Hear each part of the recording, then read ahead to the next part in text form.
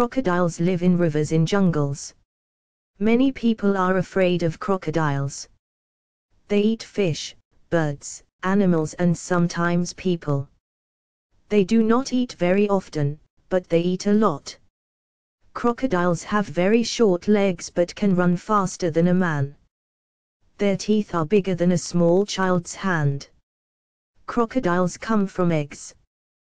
The mother carries her babies to the water in her mouth. Here they learn to swim.